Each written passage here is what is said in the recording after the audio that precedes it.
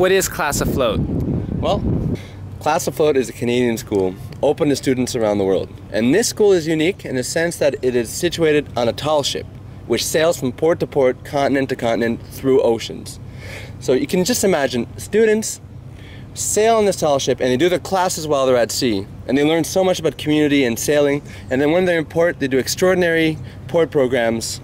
And all this together uh, allows for personal growth and just a tremendous sense of perspective of who they are in the world. What is Class Afloat? Class Afloat is so much more than just traveling on a ship. Class Afloat is being pushed out of your comfort zone. Class Afloat builds friendships and confidence that will last a lifetime. Class Afloat's a great way to get out of the house, go to school, and have fun while you're doing it. Class Afloat integrates adventure into everyday life. This experience is unlike any other experience. Uh, the academic environment offers unlimited opportunities that are unavailable to any other type of uh, academic institution. A way to see the world without taking time away from school. It's a once in a lifetime experience that you won't regret. What is Class Afloat?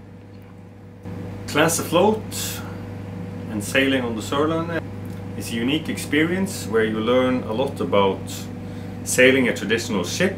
You learn all kinds of traditional seamanship, get to see the world.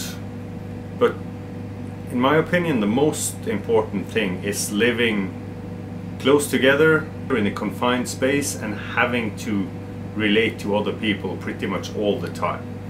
Learning about how you yourself react to stress.